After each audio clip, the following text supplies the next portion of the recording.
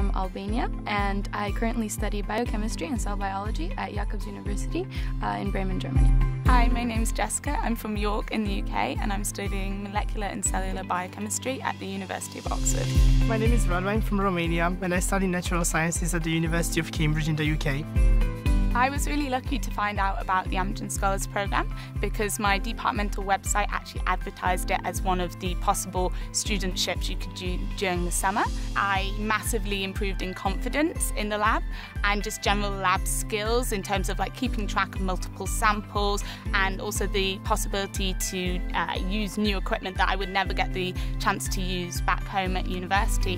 What's attractive about this program is a little bit of everything. So you have the opportunity to work in some of the best labs labs, um, learn some of the best methods, all the while you're also being taught these essential skills that actually are going to help you in uh, our further careers, such as networking, and we learn good scientific writing. So everything combined has been this amazing opportunity, which actually is going to kickstart our career into science.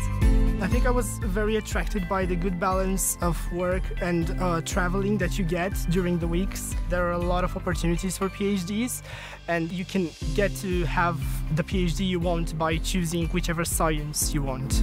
I think one of the best things about the Amgen Scholars Programme is being able to experience it with 19 other scholars who, just like you, really want to do a lot more research and find out different areas uh, in biosciences. We've just had a really good summer together and it's been one of the best experiences.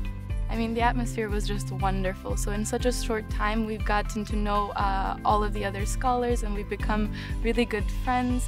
And through activities that the Amgen program actually organized, like we've really gotten to know each other.